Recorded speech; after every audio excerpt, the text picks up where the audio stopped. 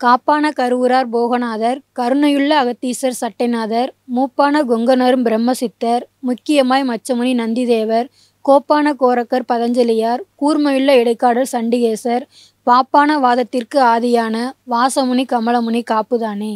வணக்கம். அரங்கர் டிவியிலிருந்து நான் உங்கள் திவ்யா. ஆடி மாத பௌர்ணமியை முன்னிட்டு ஐயாவை பார்க்கறதுக்கு நிறைய அன்பர்கள் வந்திருக்காங்க.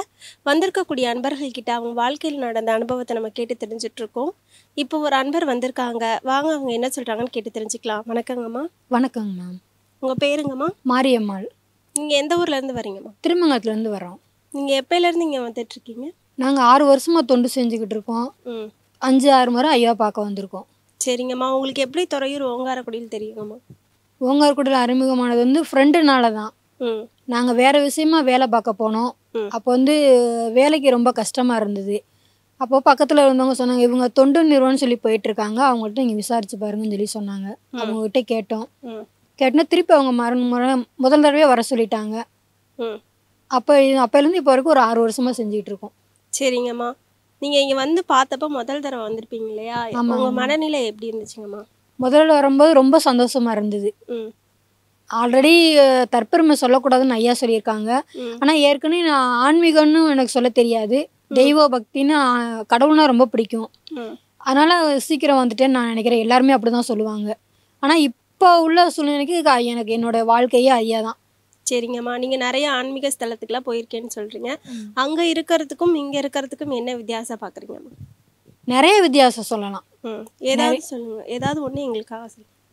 அதாவது நான் என்ன என்னை இந்த நிமிஷம் வரைக்கும் உண்மையாக சொல்ல போனால் நான் எதுக்காகவும் ஏங்கினது கிடையாது. இது இது நடக்கும் அப்படின்னு எதிர்பார்த்தது கிடையாது.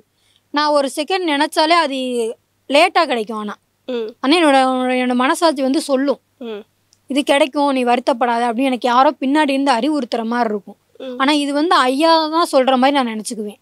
சரிங்கம்மா ஐயாவை வந்து முருகப்பெருமானோட கல்கி அவதாரம்னு சொல்றாங்க. அதை நீங்க எப்படி உணர்ந்தீங்கன்னு மக்களுக்கு சொல்லுங்கம்மா நான் எப்படி வந்தேன்னா முத முதல்ல நான் உணர்ந்தது என் பொண்ணுக்கு கல்யாணத்தும் போது தான் நான் உண்மையாலுமே உணர்ந்தேன்.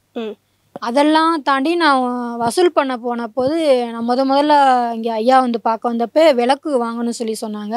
குடும்பத்தோட தான் வந்தோம். குடும்பத்தோட வந்து விளக்கு வாங்கிட்டு போனோம். ஆனால் விளக்கு ஏற்ற முடியல. ஆனால் சொன்னாங்க. நீ டக்குன்னு வந்துட்ட அகையாம் பார்த்துட்ட ஆனால் விளக்கு ஏற்றுறது எப்படின்னு தெரியல. நீ செய்த பாவம் புண்ணியம் வச்சு தான் விளக்கு ஏற்றி வழிபட முடியும் அப்படின்னு சொன்னாங்க. நான் அப்போவே புரிஞ்சுக்கிட்டேன். உணர்த்துனாங்க எனக்கு. அவ்வளோ சீக்கிரம் என்னால் வாங்கிட்டேன் வந்துட்டேன் எல்லாம் பார்த்துட்டேன் ஆனால் வந்து விளக்கு ஏற்ற முடியல. நாள் கழிச்சு பிரச்சனையோட தான் விளக்கு ஏற்றினேன் ஆனால் இப்போ வந்து டெய்லி விளக்கேற்ற முடியுது என்னால். ம். நாமங்க டெய்லி சொல்லிக்கிட்டு இருந்தேன். நூற்றி முப்பத்தொரு மகான்கள் போட்டு தொகுப்பு சொல்லிட்டு இருந்தேன். இப்போ சொல்ல முடியல. ஆனால் என்னோட சூழ்நிலை காரணமாக ஓம் முருகா ஓம் முருகான்னு சொல்லிக்கிருவேன். இந்த மாதிரி இந்த நாமங்கள் மட்டும் சொல்லிக்கிட்டு இருக்கேன். சரிங்கம்மா. நீங்க வந்து திருமங்கலத்துல தொண்டு செஞ்சுட்டு இருக்கேன் அப்படின்னு சொல்றீங்க. எந்த விதமான தொண்டு செய்வீங்கம்மா? வசூல் பண்ணுவோம். வீடு கடை அந்த மாதிரி வசூல் பண்ணுவோம். அவங்க கொடுக்குறவங்க என்ன சொல்றாங்கம்மா? கொடுக்குறவங்க எல்லாருமே ஒரு சிலர் ஒரு நாளைக்கு ஒவ்வொரு அனுபவமாக இருக்கும். ஒரு சிலர் எங்களை வாழ்த்தி வீட்டுக்குள்ளே கூப்பிட்டு உபசரித்து நீங்கள் இந்த வயசில் வந்து ஐயாவை உணர்ந்து ஐயாவுக்கு தொண்டு செய்யணும்னா ரொம்ப பெரிய விஷயம். அப்படின்னு சொல்லுவாங்க. பத்து ரூபா கொடுக்குற இடத்துல நூறுரூபா தருவாங்க. நூறுரூபா கொடுக்குற இடத்துல ஐநூறுரூவா தருவாங்க. அந்த மாதிரி கொடுத்துருந்தாலும் மாசத்துல நான் ரெண்டு முறை தரேன்னு சொல்லி தந்துக்கிட்டு இருக்காங்க.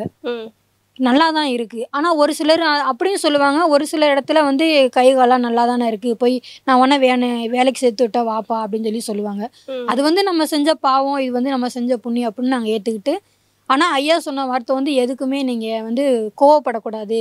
யார் உங்களை திட்டினாலும் அது வந்து நீங்கள் செய்த விண்ணப்பயன் போன ஜென்மத்தில் நீங்கள் அவங்கள திட்டியிருப்பீங்க. அதனால் இந்த ஜென்மத்தில் அவங்க திட்டுறாங்க அப்படின்னு சொல்லியிருக்காங்க.